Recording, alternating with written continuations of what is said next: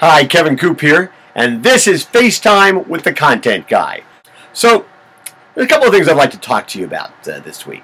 Um, to start with, let's talk about Brussels sprouts. Now, I have been on the record here on Morning Newsbeat that I just don't like Brussels sprouts. Don't like them, can't, pretty much can't stand them. Now, I gotta tell you, the list of foods that I feel that way about is not very long. Um, let's see, what would include? Beets, for example. Uh, I don't like beets. And part of the reason I'm convinced is, you know, my mother, as I was growing up, used to serve those really ugly, disgusting red beets that came out of a can, and it seemed like she gave those to us all the time at dinner. And ah, I just swore I'd never have a beet again. And uh, that pretty much is held true. Now, I'm going to tell you, I've been willing to try things from time to time. Not that long ago, I had white beets, and they were they were pretty good, but uh, they're not going to be on my list anytime soon. Let's see. Oh, I have a real visceral reaction to egg salad and liver, especially liverwurst. I just, I mean, liverwurst, I can remember just hating the smell of it when my mother would make it for her lunch. And uh, egg salad, I have no idea what this is about, but you know, I get physically ill when I'm even the, in the room with egg salad. I'll probably need years of therapy to find out. I really don't care about finding out that much, but that's probably what it would take. And then there's finally, uh, there, you know, what can I tell you? I just don't like Brussels sprouts. I really don't know why. I, just don't like them. I don't even remember having them much as a kid. Uh, I just don't like Brussels sprouts. But now, earlier this week, I went to an Italian restaurant in the city uh, called Il Buco, and it was a business dinner.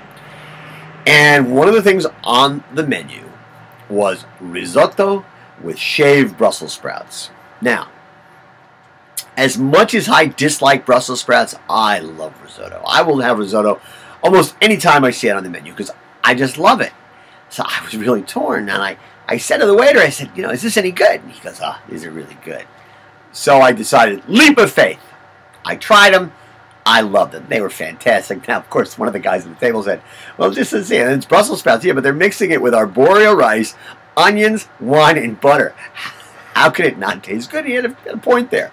But the thing was, these these were really really good, and I'm really glad I tried them because it was a fabulous meal.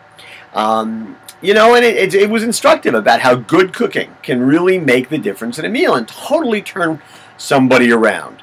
Um, I was also kind of thrilled to find out that you know I'm capable of, of a little personal growth even at my advanced age. Um, the other thing I wanted to talk to you about was um, the fact that while I was in the city this week, I actually went to Eataly. You know, Eataly is that shrine. It's this Taj Mahal that is dedicated to all things culinary and Italian. And, and Eataly, if you've never been there, is really worth seeing. Uh, they're actually building one in Chicago. For those of you who are going to the Food Marketing Institute show next June, there's an Eataly, and I really recommend that you go. But one of the things I saw when I was in Eataly was really kind of interesting. It was this little book, and it's called The Little Book of Pasta Tips. And um, I, you know, it's just 50 simple little tips, and nothing really mind mind blowing. But I, I thought it was good. You know, this was good.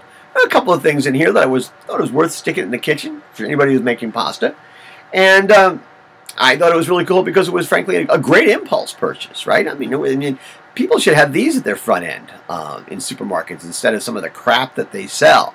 And by crap, I mean these magazines that seem to make a living out of chronicling all things Kardashian.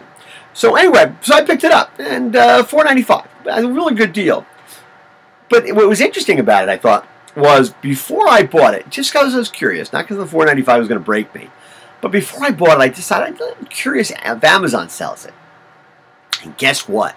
They don't.